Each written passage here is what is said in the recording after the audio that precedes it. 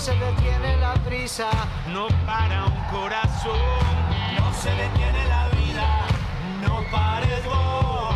Siendo lo más objetivo posible, ¿cómo ve la, mm, a ver, la ubicación del Frente Amplio de cara al 2024? Bueno, yo realmente he vivido con mucha emoción el acto del viernes, este, esta alegría, este entusiasmo que hay. Francamente creo que el Frente tiene todas las condiciones para volver, ha aprobado un programa, tiene muy buenos candidatos, tiene todas las condiciones que son fundamentales siempre, que el pueblo frente amplista, que es el que define en definitiva, está con mucha convicción. Lo he visto en los comités de base que he recorrido en Canelones, lo he visto en los, en, los grupos que han trabajado sobre los diferentes temas. Hay mucho compromiso, hay muchas ganas, hay mucha voluntad eh, de hacer una campaña, quedan 10 meses.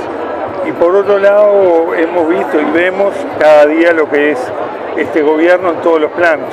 Entonces creo que están dadas todas las condiciones eh, subjetivas de ánimo, objetivas de evaluar un gobierno eh, que hemos visto y conocido y al mismo tiempo la fuerza política muy, muy de pie para hacer esta campaña. Bien, y brevemente, ¿piensa que la corrupción es un tema que la gente va a decidir, bueno, en función de ese tema, su elección electoral? ¿Pesa tanto la corrupción? Eh, yo creo que más allá de las encuestas y, y, de qué se piensa en las encuestas de los distintos temas, hay una cuestión que el pueblo uruguayo es muy sabio eso.